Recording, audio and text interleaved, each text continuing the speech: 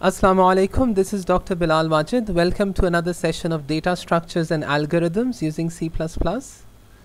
In the last lecture, we talked about basic data types like integer, float, double, and then we talked about this interesting function called size of that helps you measure the amount of space each of those data types was consuming within the memory. Today we're going to talk about a user defined data structure called structure. now the word structure within C and C++ allows the user to define their own data types. In this particular example the structure has been named element and this element can have as many different components as you want to put in here. So here the word element now becomes your own data type structure. It has a name of the type string. It has a value of the type integer. And now you can use this element the same way you use any other data type. So a has been declared element and components within A can be accessed using this dot operator. So I've mentioned that here. Excuse me. So A dot name has been assigned Bilal Wajid and A dot value has been assigned 90. Now consider for example this particular program. Now here we've declared and defined what our structure element is prior to the main function because the main function is where, I'm calling this out. So you want any definitions of this to be present prior to the actual main function. So here I've defined element A and A dot name has been assigned Bilal Wajid and A dot value has been assigned 90. And then I'm just printing this out just to see if my different components of the structure of the element A have been assigned properly.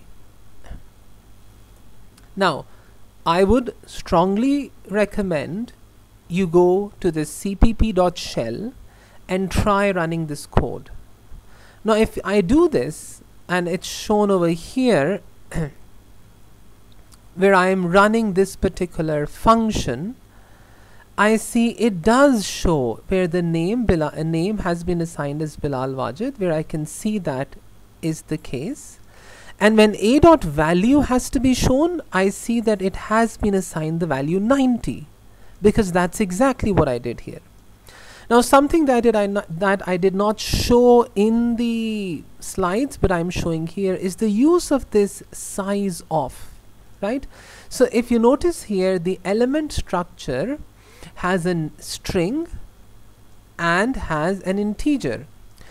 It's worthwhile mentioning because you're using a string you have to include the string uh, library.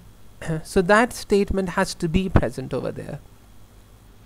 So here I'm saying let me find out the size of the string. So I've written size of string and let me find out the size of the integer and see because the element contains both a string and an integer let me see if the size of the element is the sum of the size of the string and the integer.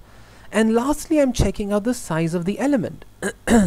What I see here is the size of the string is 8 bytes the size of the integer is 4 bytes but the size of the element is 16 it is not 12 it is 16 now think of it this way that if you have a room, the room can have a table, a chair, and a bed. But the size, so the, there is a size that the table needs, and a space that the chair needs, and a space that the bed needs. But the room is usually larger, as an analogy. The room is larger than the size of the bed, the size of the chair, and the size of the table combined.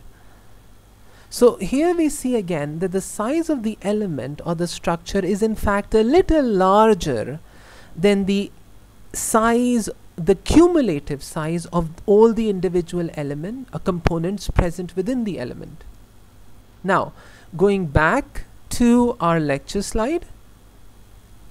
Here is another example. In this example, I'm making a function called change value where I am calling out the argument element. So element is the return type and the element is also the argument of this function, right?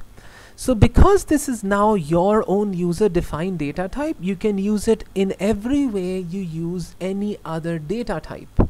And that makes it very powerful. So here, there's an element b which is passed on to this function and I, I'm not changing the name, I'm only changing the associated marks for it. Now, this is the complete function itself. This These three dots over here actually represent um, the structure definition and the function change value because we are using the element here and we are calling out this function so they are they both are supposed to be defined prior to the start of the main function. Um, here you have to include the string library. I haven't included it here but I'll show that I have done that in the cpp.shell when I'm running it over there. So here the name was initially Bilal Wajid and the marks that were assigned were 90 and after you can actually calling out this function you can change the marks to a new set of marks and see if it did in fact change in the output.